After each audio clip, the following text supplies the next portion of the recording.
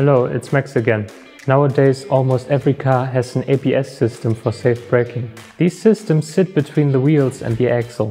If you want to change the bearing of the axle, the outer ring and all the balls will fall off, but the inner ring of the bearing will remain firmly seated on the shaft.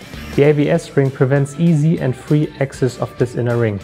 Normally the whole system would have to be dismantled, but not with the 204V 2-jaw puller Cobra for inner races with slide clamp.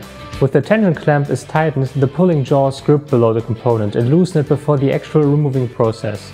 The clamps increase the pressure of the hook significantly. No longer do you need to hammer off, saw or split the ring and you save time because not all parts need to be removed. The 204V puller is a beautiful tool for removing flush parts when it's important that the jaws do not slip off. To stimulate your appetite, we offer an exclusive bundle with three pullers. Coco, pull forward.